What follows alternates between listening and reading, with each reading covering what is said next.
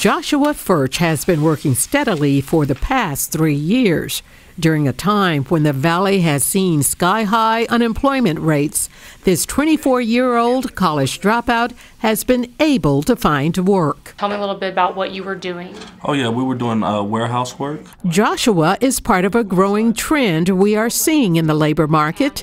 An estimated 2 million people are working as temporary employees. I started working through my first job, and um, uh, it lasted for about two, three weeks. And um, then I called them and I said, thank you for that job. And they said, okay, well, we have another job lined up for you. And did you guys figure out the um, pricing and everything? Yes. Stephanie Schwartz is with one of the largest temporary staffing agencies in the Valley. Here at Pride Staff, we've seen about a 50% increase um, in business over the past couple years. And she believes it's an indication that the economy is on an upswing, but that doesn't mean employers are ready to hire companies are just cautious to, to bring on full-time people. They're they're still a little bit unsure about the economy, and so by using uh, temps, they're able to keep their costs down, but um, while we supply them with flexible labor. It is also a way for companies to screen potential employees and test their skills. It helps to um, watch someone work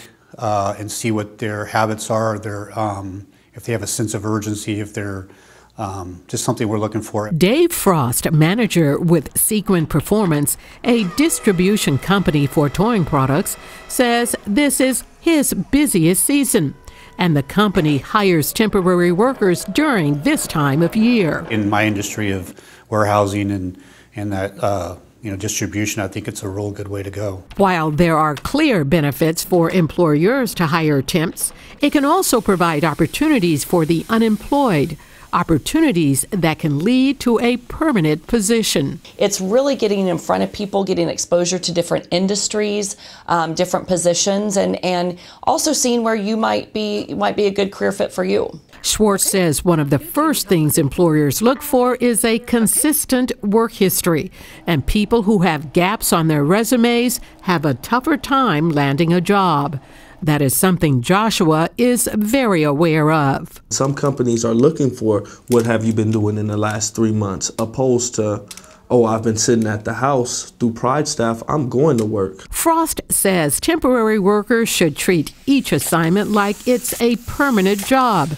He firmly believes if you work hard, it will pay off. Well, I think you need to go in there with a, an attitude of, I'm going to work as hard as I can to show what I can do.